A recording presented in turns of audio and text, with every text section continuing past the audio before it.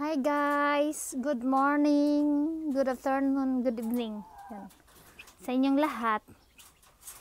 Ayan yung mga alaga ko guys. May manok. And then ito, tawag nila dito pragokotes. Tapos mayroon pang sa likod, mga maliliit pa na manok, mga native. Yun guys. Nakakapagod din pag maraming alaga. Ha? Pero okay lang. Worth it. Kumusta kayo guys?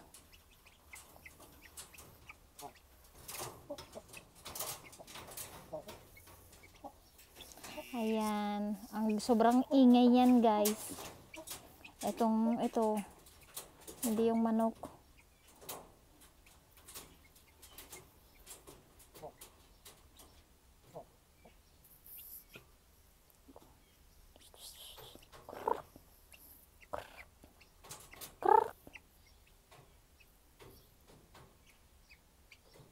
Ayan.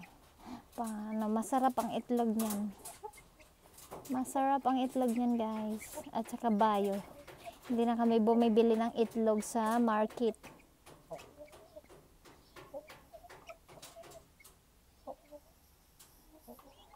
Nakakatuwa din may mga alaga ka, guys.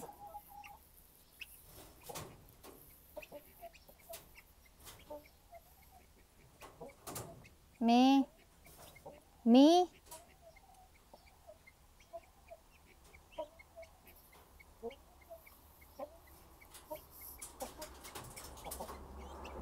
Ayan yung puti ano yan, yung male.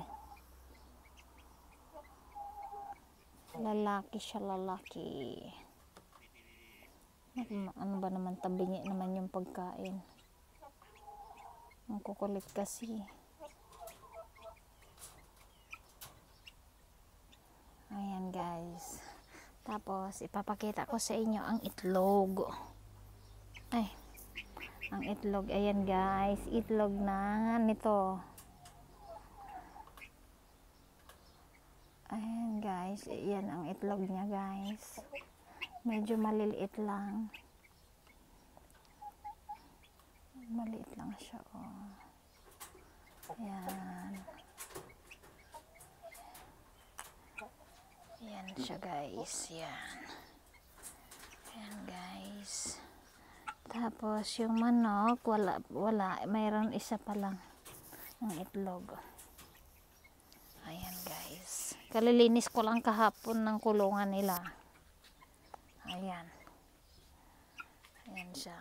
Bul bulitsa. Bulitsa. Bulitsa. Bulitsa. Ayan, lemon namin guys. Oh. Eh, inanahan ko ng ano, plastic yung gulay ko doon guys kasi um, umuulan ng ice eh. Masisira sayang. Ayan yung granada ang orange ang bulaklak. Ito apricot. Ayan siya ang bunga oh. Ayan guys. Uulan na naman siguro.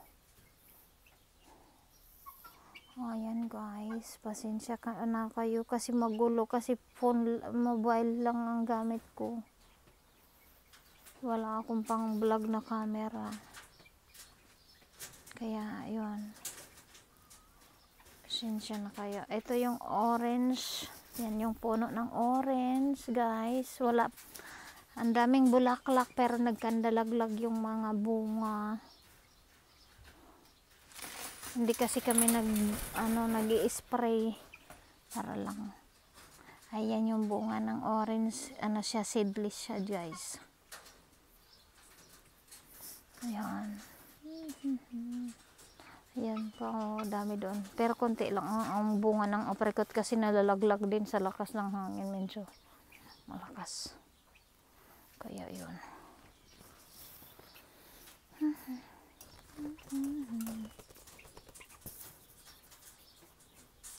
Yan, simpleng bahay namin guys.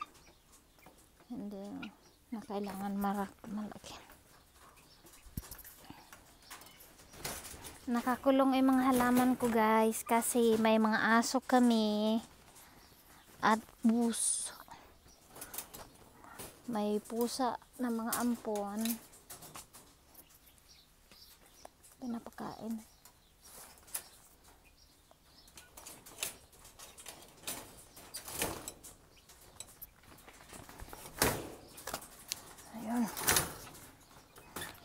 Ayun guys. Yan yung mga tanim ko guys. Mahilig ako magtanim ng mga mga puno ng prutas. Tapos mga halaman.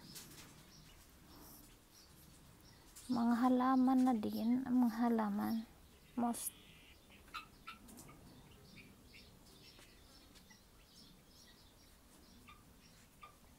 Ayan oh. Yan. Tapos, ito yung carnation, guys.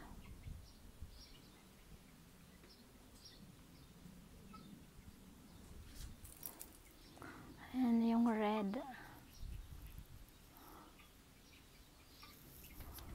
Ito yung mandarin na puno, guys. Hindi siya masyadong nagaano. Kasi, bago pa lang siya. Ayan.